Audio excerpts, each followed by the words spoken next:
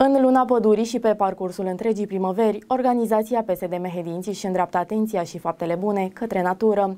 Astfel, în cursul zilei de ieri, președintele Consiliului Județean Mehedinți Aladin Georgescu, împreună cu senatorul Liviu Mazilu, deputatul Alin Chirilă, consilierul județean Valentin Popescu, primarii din Eșelnița și Zvinița Marius Vâșcă și Nicolae Curici, însoțiți de mai mulți voluntari, au plantat puieți de nuc în parcurile de pe străzile din Eșelnița și Zvinița.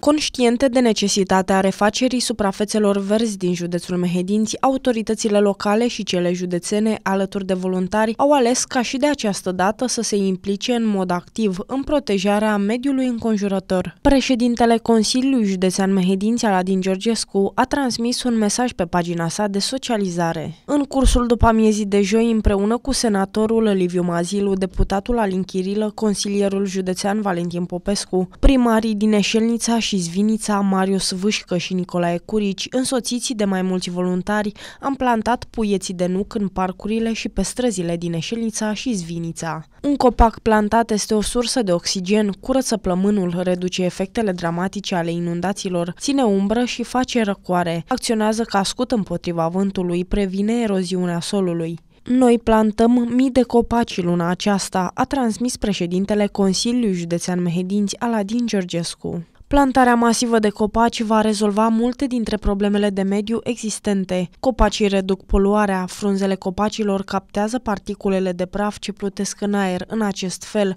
evitând problema de a inhala acest praf. Pădurile pot fi un mod bun de protecție pentru căldura excesivă ce are să vină curând, pentru pământurile vulnerabile. Ele pot de asemenea să fie o barieră în calea ploilor torențiale care duc la inundații.